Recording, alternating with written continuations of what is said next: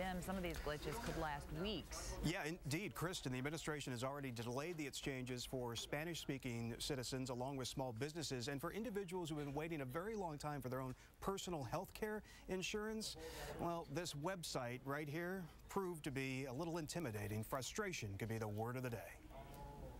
I think it's an amazing idea. Amazing is how Colette Haley describes the new healthcare exchange. For the past eight years, Colette's been running her own small business, but unable to find affordable personal health insurance. At least it offers some hope that there may be some affordable health care out there, and I don't have that constant stressor in the back of my mind of, you know, I have to stay healthy. What happens if I'm not? Like millions of Americans Tuesday, Colette logged on and prepared to choose her new health plan. This is great. All right, here we go. From the website, Colette clicks on Apply Now, and from there chooses Ohio as her state. Ooh, a username. Wow. After providing her name, email, and password, Colette waits. This is pretty exciting. I think we're actually getting to the exchange now. Here, it can't, couldn't be created. It's here where Colette learns there are too many people online.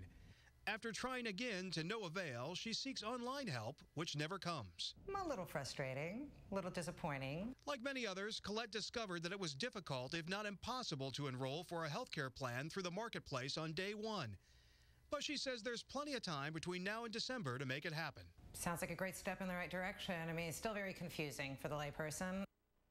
Right, let's emphasize that everyone has until December 15th to pick out a plan, so there's still plenty of time to enroll. Colette obviously had trouble webbing on to healthcare.gov to find her insurance plans early today. So I've got it right here on my computer. I'm going to spend the next 15 minutes or so, check back in at 5.30 and let you know if we've made any progress now at the end of this first day.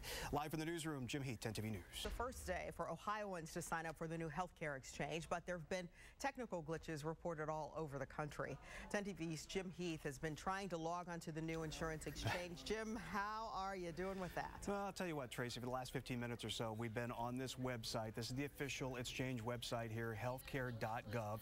Uh, basically, you click apply now, and from there you fill in some information, sign up, put a username and password. Here is where we're running into a problem, and this has been a common occurrence with folks we've been talking to throughout the day.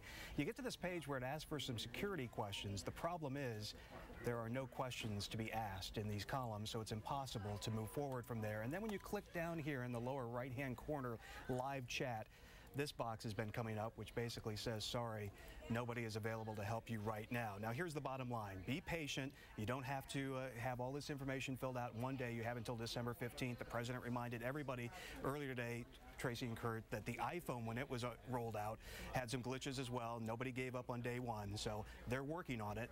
A lot of folks anxious for it to be up and active. Live in the newsroom, Jim Heath, 10 TV News.